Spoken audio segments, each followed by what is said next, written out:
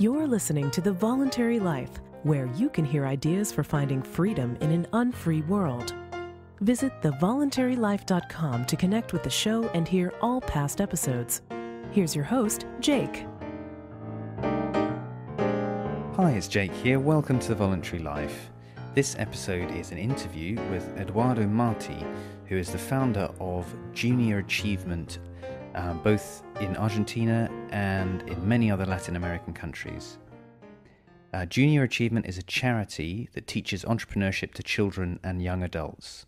Eduardo has held academic posts as professor at the University Francisco Marroquin in Guatemala and at the University of Buenos Aires.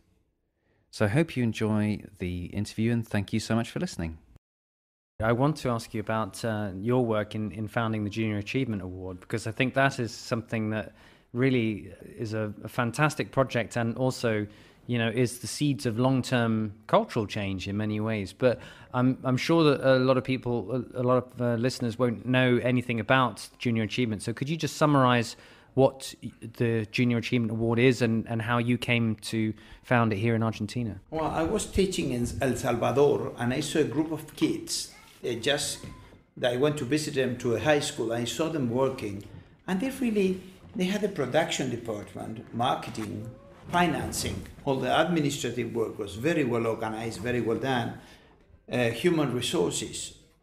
And you see, a general, the general manager was working fine. So I saw this is too well organized. So where, where, where did you get these ideas? They asked, they and they told me, empresarios juveniles del Salvador. They told me we got we are part of Junior Achievement family. So when I was I, I went to the states, I went to visit them. They are in Colorado Springs, small town near Denver, and I was really impressed. The founder of Junior Achievement was Horacio Horace Moses, and he founded Junior Achievement in the middle of a strike just employees and young, uh, uh, young employees were complaining, you are making money at the expense of our workers, at the expense of, of, of the, the, public. Horace Moses challenged his worker. He said, do you think I'm making money at the expense of my workers? The exploitation theory, Marxist theory. I, do you think I'm making money at the expense of public? I'm making money because I'm creating wealth. Mm. So I'm going to teach you how to do it. So we are going to meet once a week in this small building. Nothing is there. Do you have raw materials? No. Do you have capital? No. You have nothing, right? Okay. Let's I will give you 15 weeks. In 15 weeks, you have to show me I'm, I'm going to show you how we together we are going to create wealth from scratch with our minds thinking. So he challenged and that was the beginning of the Junior Achievement Company. It's, you can see that in some TEDs uh, conferences yeah. that you challenge a kid solve this problem and you just write in the blackboard just a very tough question sometimes in a different language and they find their own way mm. so that's the beginning of junior achievement telling them and those companies always put a slogan in front some of them were saying things like just do it mm or Nike's uh, slogan, mm. or impossible is nothing. Now, you saw those in the junior achievement companies of the beginning, or th- uh, things that junior achievement invent, right. the HP uh, uh, slogan. Right. So you see that, and uh, and what is interesting is that uh, little by little that culture expanded through the country, and they found a way to to to teach the kids, to challenge them, showing, telling them, listen, find a product or a service that you improve the quality of life of your neighbors, and uh, you don't have capital, just go for it. Venture capital. Explain people why they are going to make money through you. So it's like a sort of entrepreneurship, mini entrepreneurship course for for kids. For kids. How what ages? 17, 18, 19. Right and uh, they build their own company. In 15 weeks, they create the four departments, as I told you marketing, finances, human resources, production. And they raise capital. They buy themselves. They have three roles. They are workers because they work for a salary. Mm. And they determine their own salaries. Yeah. So they understand that if their salary is too high, they are, going, they are not going to attract investors because the profits of the company are going to be low. They get commissions through selling And that's another incentive. But at the same time, they get dividends from their stocks. Yeah. So they buy themselves stocks. So they see the company from the different perspectives.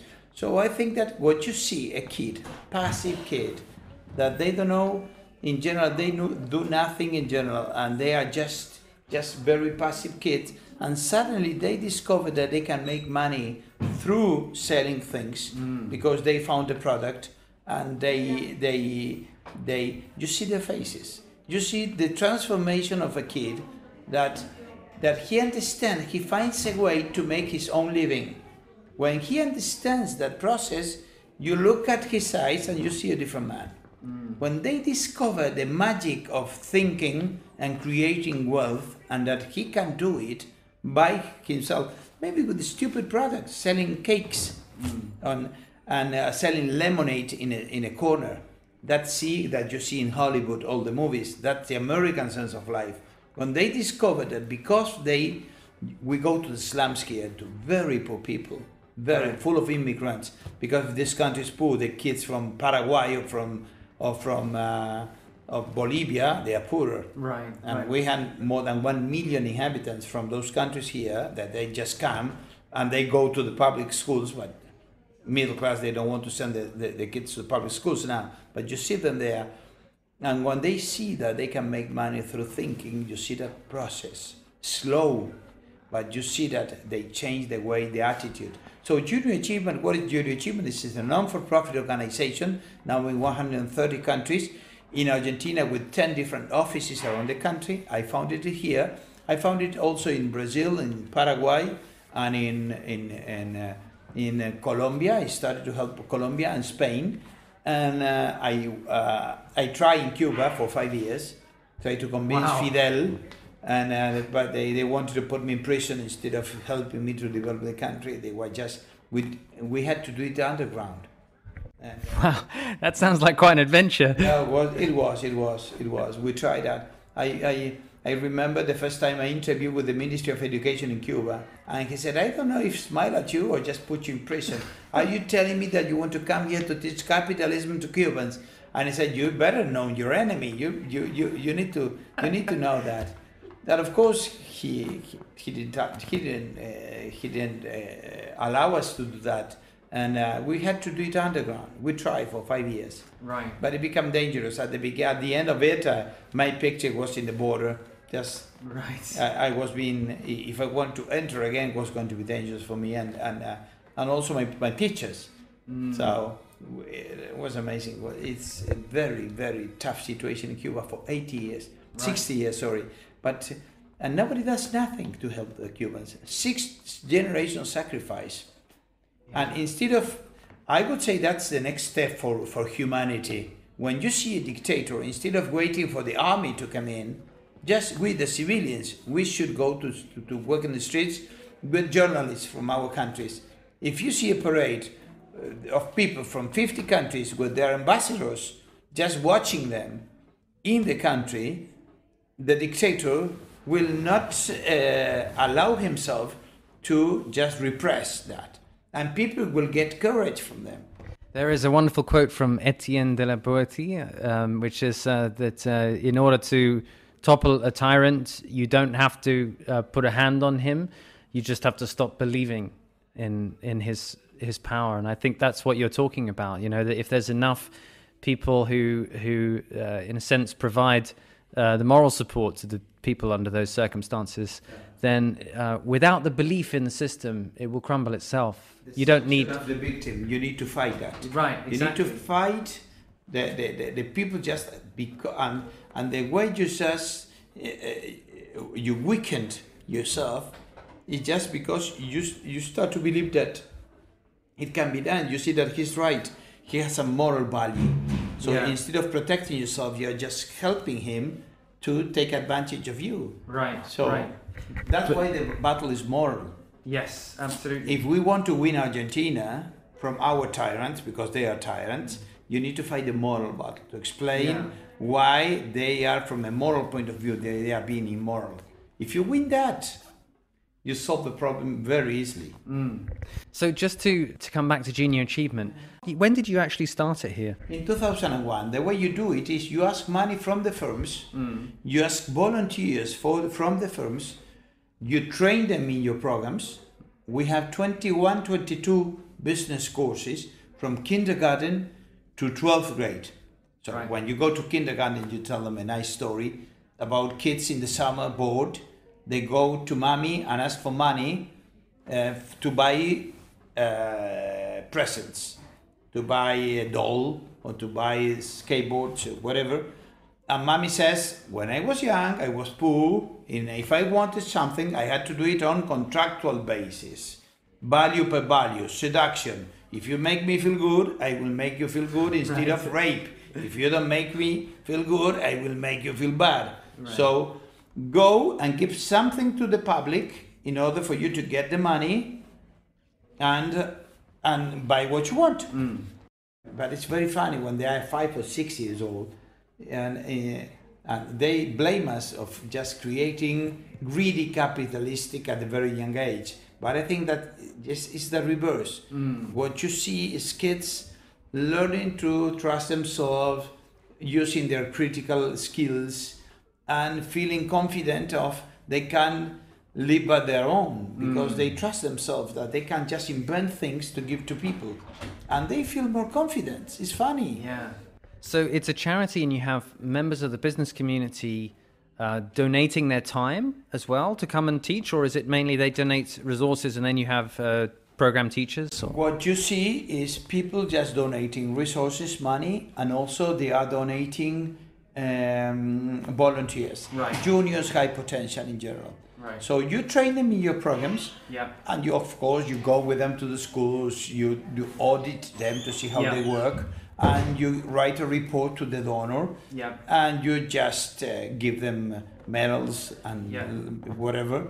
So if you're in buenos aires on december 3rd we are going to th- have 2000 kids in a big theater. It's like the oscars in hollywood because it's going to be a huge act.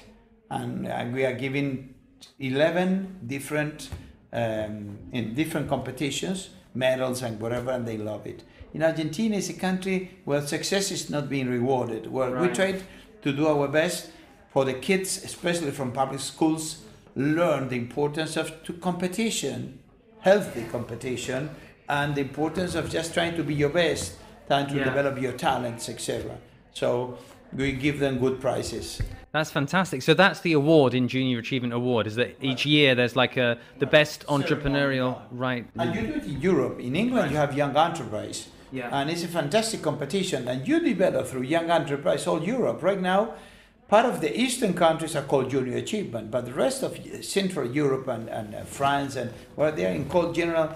In general, they, they call themselves Young Enterprise, and Right. that's because of the British influence.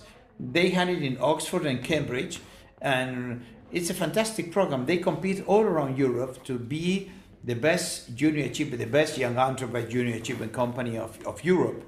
is part of a strong competition, and the products are fantastic. They have to deliver, they have to argue in front of juries. In, in, in UK, they do it in a more individual basis. You don't have so many advisors, they are on their own. They are just more e-learning process uh, Right. through uh, uh, uh, distant learning. Yeah. So you just follow, and you have to, uh, to, to just follow the championship, just filling up your, your forms every week, and you have to go through different steps to advance in the competition. Mm. And if you reach the finals, you have the jury judging which is the best company of UK. So you go to the finals in Europe finally. Yeah. Fantastic. How many people do you think have been through your program uh, so far? 700,000 in general, all the courses. I'm taking you on uh, kindergarten. Yeah, yeah. Since the beginning in 1991, we have been in, in, in, in uh, working for 21 hour, uh, years. In general, for the company, probably you have 50,000 people just that are achievers. Right. So they found they understand how to create a company. But in small countries, this country has 40 million inhabitants. The, you start you start to see to feel the difference. You find achievers here and there, and you see that they, they, they think in different terms. They are more they trust themselves more. you see that they some of them we have a kind of millionaire club Mm. that and you see them a lot of them created internet uh, uh, business that are being very fine and they make money and they they call me and they say eduardo your achievement has transformed my life i can't believe it i'm uh, i love it Mm. that gave me confidence when i, I was trying to get a, a work for for, for, for the, a public servant or whatever you see that That's fantastic. I, I think it's a, such a powerful thing to do and such a positive change to make. I'm curious to know what is the cultural response to junior achievement, for example, here in Argentina and may, maybe in some of the other South American countries, because I mean, even in the UK, right, there's still very much for 18 year olds, you said, you know, 17, 18 year olds going to university and maybe becoming like a professional, like a lawyer or something, would be like the ultimate high status thing to do. Entrepreneurship is still, even in you know in the UK, not really something that is considered to be a very like a acceptable or good pursuit to follow. You know, if you really want to have a good life, it's kind of an odd thing to do. What is the cultural uh, response to to junior achievement here? Remember that uh, the Matrix has been in charge in the educational department in Argentina in the last 110 years. That has a strong influence. This is a public. You see, imagine that you give the building of shoes to the public. So they, they just one color. You probably too big, too short, with just one material. If you put your education department in competition in the market, you have different offers for different kind of kids, right? Rural areas, the city, uh, technicals, uh, genetic innovation, I don't know, uh, robotics, whatever. You see the private schools here in Argentina, despite the lack of resources, because they have to compete to the states, how they create, how they invent, they're competitive. They go to Europe, they go to US, they try to find any innovation around. They are all bilinguals. You see, you go to the public schools, they don't speak any language. They are exactly like 100 years ago in buildings that are really destroyed with not too much uh, heat in, in winter and no air conditioning in summer. So you have the whole system is collapsing. So instead of just understanding that and trying to recreate situation of competition and different offers, they just remain that way. What are, the, how is are people reacting? Just taking away their kids from that uh, that that system. So uh, what you see is, I think, of course, the government resent junior achievement. I have been in the first page of newspapers, all the, the, the government newspapers, because they are trying to destroy free press, criticizing junior achievement, evil capitalism, uh, uh, teaching kids uh, around about money, etc. Of course, I defend myself on moral basis. To ma- is is something wrong with making money? They try to say, "Oh, he's teaching kids how to make money. What's wrong with it? You love money. You're thieves. You're exploiting." And just it's a kind that kind of. Uh, uh, but instead of producing and making your own money, you're trying to get somebody else's money. So. Uh, when you give them the arguments of wealth creation as a just moral justification for uh, private property, they don't know what, how to argue with that mm. because they are just they they in, in, in that idea of fixed wealth. If I make money because I'm taking away from somebody else, the Montaigne dogma mm. is in their heads, mm. so they don't understand that this concept of creating wealth. So that's that's something that really discouraged them. They mm. they are with Marx and the, the exploitation theory and plus value theory, etc. So when you argue on those terms, they, they really get. But no, they resent that. They try to stop us from just allowing ourselves to enter the public schools. They put us obstacles, but parents love it. So it's tough for them to tell them your kids are not going to have this because we are not allowing you. You see? Right. So we are finding ourselves a way to enter the public schools. And it's, we find obstacles, but here and there we have found a way. And uh, uh, behind Junior Achievement, we have 2,000 firms. Right. You see, that invest money. How much money? Right now, $2 million per year. Right. In poor countries like Argentina, to get from the private sector $2 million is a lot of Very significant. very significant, and uh, we just do our best. Of course, American companies help us a lot because they know how the system works and they know junior achievement in the states. So this they go to we we write uh, proposals to them and they, they help us a lot. They have representatives here in Argentina and they are part of our board. We have a whole system. You need to give them. Uh, you, when a firm is giving you money, you need to spoil them. HSBC, by the way, has been the most important uh, donor in the last two years. Right. They are helping a lot, a lot, really giving us representatives, donors, and they go to the schools. They they are part of the junior achievement family here. But the answer is yes. They you need to you need what I tell our our businessmen. Why do you have to invest in junior achievement? Because you need to protect and to grow the civil society and to shrink the politician sphere. Yeah. Yeah. We have a writer called Borges. Jorge Luis Borges was Yes. a famous writer. He used, used to say, liberty is the space that the soul needs. So that's why you keep distance in UK. And when you are in Disney, you see the Americans just respecting each other. When you go to a bank here, you see people just looking at each other in the file. They are just close. You see, they. That's why it's wide in the states. Everything is wide because you need space. You see. Right. And, but if you go to Chichicastenango with the Mayas, they have a, a- an area of 10,000 kilometers, square kilometers, and they are all together, like a grape. Yeah. And you ask yourself, why are they so close? Because that's what you see is a soul that needs to be developed. Right. They are part of a group. Right. You see, sacrifice for the common good. Mm. Rousseau, Yeah. Kant. The problem at the end is philosophical, as Ayn Rand used to say, you see. Yes. Yeah. It's philosophical. What you need is to develop individu- individuality. The idea of that you are entitled to your own happiness. And do you see that happening with the people who've, with the kids who've gone through junior achievement? I mean, have, have there, do you have any kind of examples of people who have gone on to really make a difference and show their individuality? Yes, yes. Once, if you give a mind the chance to trust themselves, what I call it the sense of efficacy, when you see them that they trust themselves, they become individuals. They start, they start from a business point of view because they sense the feeling is, I don't need anybody else to survive. I can do it by my own. I will find something that people need, mm. and that attitude, it's it help you to do introspection. What type of music do I like?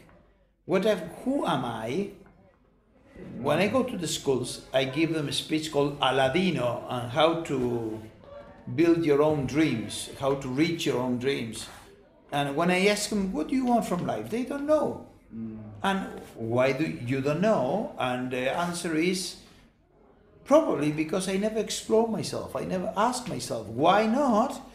Because I don't feel that if I find the answer, I will have the means To do anything with that.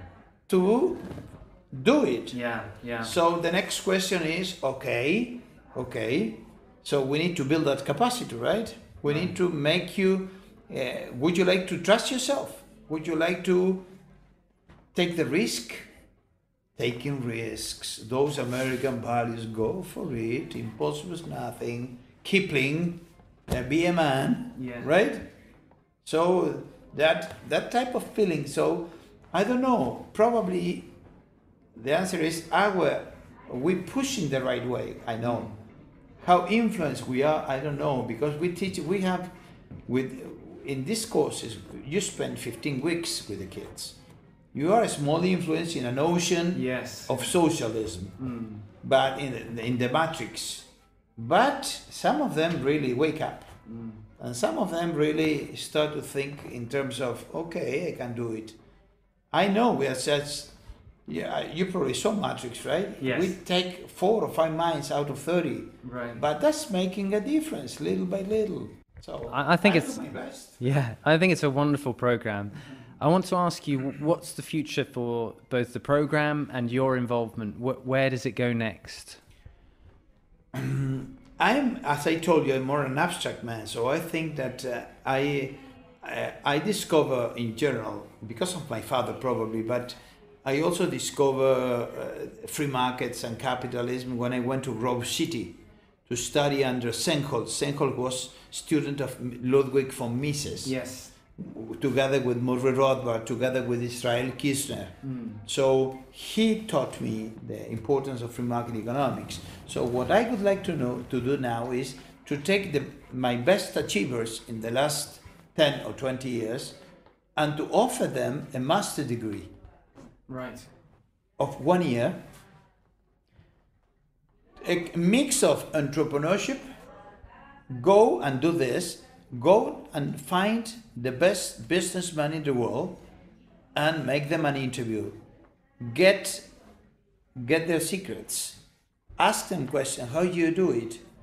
And uh, and of of course also try to do your own business. Try to you need to practice. You are not going to win Wimbledon if you didn't win your club's tennis, right? You better start by doing it in a small scale. Yeah. So that's entrepreneurship. I wanted to practice different projects year after year, small projects. They don't have to be fantastic at the beginning.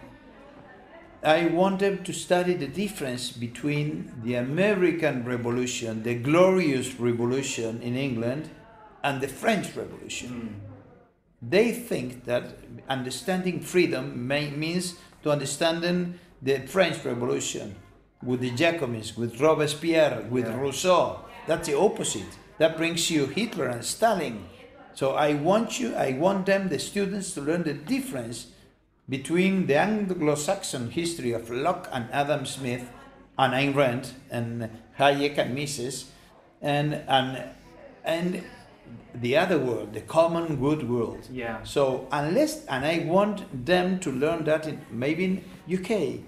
I want to, I want them to see the fight for freedom and what freedom means, the Carta Magna. Yes. Yeah. The Magna Carta, yeah. so you got in your genes, it's part of you, you see? But it's not part of this part of the continent that we, we studied under is- Spaniard codes and French literature. It's more Latin culture. Right. So, but if I can form 50, 60, 70 students per year, I will make a difference because they will be very influential later. I want them to learn free market economics, Murray Rothbard and, and, and, and the Mises Institute and uh, the Foundation for Economic Education in New York, Larry Reed, and the Institute for Humane Studies in Virginia. And I, so I want them to learn how the markets work and know how to argue against those stupid theories that are being taught, the Keynesian theories too, that really hurt this country too. And uh, that's free market economics, entrepreneurship, history, and philosophy. Right. I, they need to learn the importance of Aristotle's against Plato.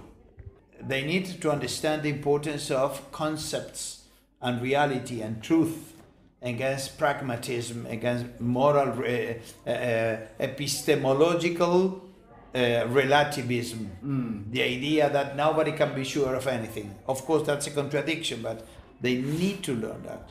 I think that if I teach them for one year a little bit of philosophy, a little bit of free market economics, history, that they learn the difference between the British Revolution, the American Revolution, and the French Revolution, Yeah. and entrepreneurship, if I just form 40, 50 kids per year that understand the process and know how to argue, you change the country. Right. We, I'm part of uh, 10 people who was sent, were sent to the States during the 80s, between, yeah, 1979 and 1989. And we all become professors, teachers. We are just one per year. And we all have been very successful. Alex Chafuen is running the Atlas Economic Research Foundation in Florida, in, in Florida, in Virginia, and, uh, and Washington, and it has been very, very successful. St. Andrews University has been run by another Grover, Grove City College with Sennholz called uh, Zimmerman, Eduardo Zimmerman, and all of us, the all of us who went to, to Grove City to study with Sennholz, we all are working for freedom. So we consider ourselves a kind of freedom force. So I think that we did that in 10 years. I've been working all my life trying to help to, uh, to add some common sense to this country. So I think that if I can send 40, 50 students to spoil them with Northwood College in Palm Beach, to Oxford in England, to Chicago, so that they feel the atmosphere of what capitalism is. And I can th- I think that I that could be the last part of my contribution. I would say. Right. I'm going to be 60 in December. Right. So from the, my 60s to my 70s, I hope to be able to develop that master. Junior Achievement is an institution in Argentina. We have 10 offices, 70 employees, Can't work without me. So it would be a kind of part of junior achievement, a kind of senior achievement. Yeah, I understand. More of to give more of a philosophical foundation in that master's course that could then you develop. said, together with entrepreneurship. Right, right. They, uh, i- if you're an intellectual, the problem with intellectuals is they not they, they are always running out of money. They yeah, they are always poor. So we are teaching like Mises, or you are teaching capitalism, but, but people they, they need to they don't understand the difference between this idea of okay, I understand the whole context and that's different from being a businessman yourself. Because in order to make money what you need is to give value to the society and when you are just explaining the context you are not giving value to a particular human being. You are just giving to a society a whole society and society they, they don't write checks they do it on an individual basis and you- you can make contributions here or there that's Right. I'm just explaining myself that way because through organizing junior achievement, uh, I, I found a way to receive donation. I have a pretty decent salary, but I, I, I, I, I never reach your state that I can not work for one year, you see? So I'm teaching something and the kids learn fast. Some of them are millionaires already, but I haven't applied that for myself. Right. So I think that the new generation needs to understand the importance of both worlds Right. to be able to explain the context and to explain to the businessman and to the community that you cannot fish in a polluted lake, that you need to understand that you cannot be a businessman in Argentina because you will have to pay tribute to Cristina hmm. and, and, and, and at the same time you need to you, you need to make money to be independent so find a way at the Kiyosaki style yeah find Yeah. your own business so you can relax yourself etc Fantastic. Eduardo, it's been such a pleasure talking to you. I, I want to ask you one last question, which is for people who are interested in both your your writing, your work, and also in junior achievement, could you tell me where should they look on the internet? What uh, can you give me some links and things for them to follow? Well, you can you can go to Junior Achievement Argentina t- uh, three uh, www.juniorachievementargentina.com. You can go to uh, I have a small blog called Libertad Querida in Facebook. It's not a blog. It's how do you call that? A page. wall. in A page. It's called Libertad Querida, the Argentinian Tea Party, where I just share my thoughts. That's a very aggressive because I'm fighting the government. I organize parades and etc. So you will see a lot of insults, but it's funny to read, especially if you want to practice your Spanish. That's what I'm doing now. Libertad Querida, Junior Achievement. That's it. Thank you so much for the interview. It's been really, really great talking to you. I, I want to thank you. Thank you for the interview and for just surprising interview. Yeah, interesting. Brilliant. But it's nice too that people from abroad see what we do and that we have smart people in Argentina fighting for the good, good cause. Yeah, absolutely. Good. Thank you for listening to The Voluntary Life. If you have feedback about the show, please email jake at thevoluntarylife.com. If you enjoyed this program, please share the podcast with your friends or click the donate button on thevoluntarylife.com.